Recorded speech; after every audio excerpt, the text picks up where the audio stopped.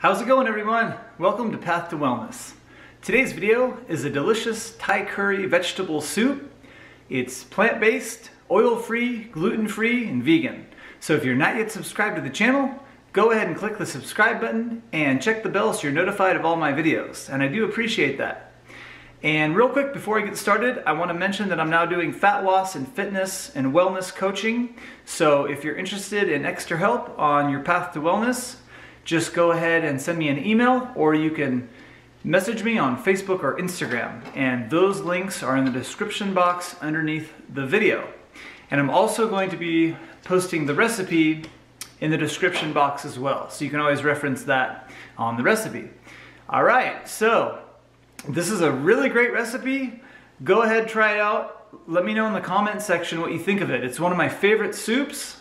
And I'm living here in Bend, Oregon, so it gets cold and snowy in the winter. So I love having vegetable soups, especially in the, win in the winter time.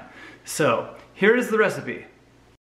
So the ingredients you're going to need for the soup is going to be four ounces of rice noodles, a 13 ounce can of coconut milk, 4 cups of veggie broth, 2 tablespoons of red Thai curry paste. You're going to need a bunch of bok choy and you're going to need to separate the leaves from the stems and cut those up separately. You're going to need 2 cloves of garlic and about a tablespoon of ginger that you're going to shred and you're going to need a medium sweet potato as well. And then for some toppings, you're going to want to have some lime slices, some an onion, a red onion cut up, and um, some cilantro cut up as well. And that could be on the toppings at the end.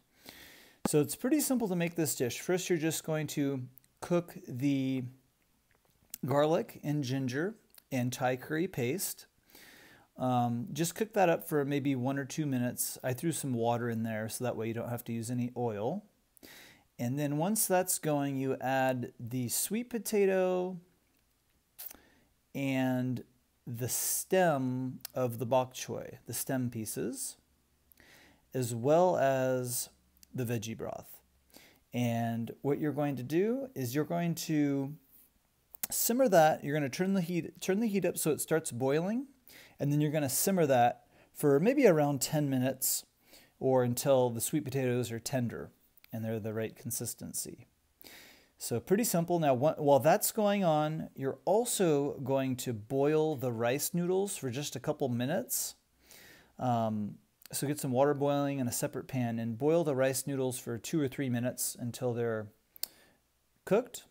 And that's it. Now, once the potatoes are tender, you're going to add in the coconut milk and stir that in. And you're going to put in the leaves from the bok choy as well and stir that in.